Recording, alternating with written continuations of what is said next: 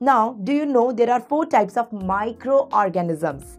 There are bacteria, viruses, parasites, and fungus. Do you know their size? Let me tell you. So, the bacteria size is 0.2 to 1.5 micrometer. Instead of numbers, I am more interested in unit. So, bacteria measures in micrometer. What is a micrometer? It's 10 to the power minus 6 of a meter. That is known as micrometer. The viruses are measured in nanometer. What is nanometer? It's 10 to the power minus 9 of a meter. So we can see the viruses are 1000 times smaller than bacteria. I guess everyone knows it, right?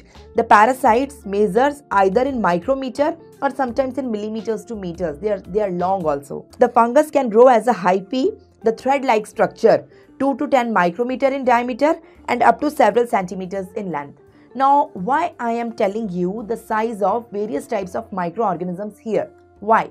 Now, what is the instrument I am going to teach you in this video? It's microscope. Microscope. So, it's an instrument which magnify the objects which are micrometer in length right so we can see with the help of microscopes the light microscope we can see the bacteria but we cannot see the viruses with light microscope. If we want to see the viruses with the help of microscope, we have to use electron microscope.